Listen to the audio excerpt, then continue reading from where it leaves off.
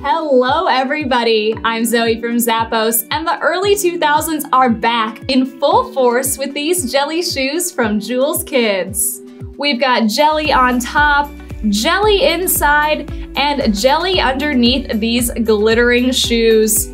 The whole shoe is that flexible material. Underneath, it's got a bit of a higher density material for durability, and an adjustable buckle at the side here allows you to customize your fit. Otherwise, I don't know what else you guys want me to say about these shoes.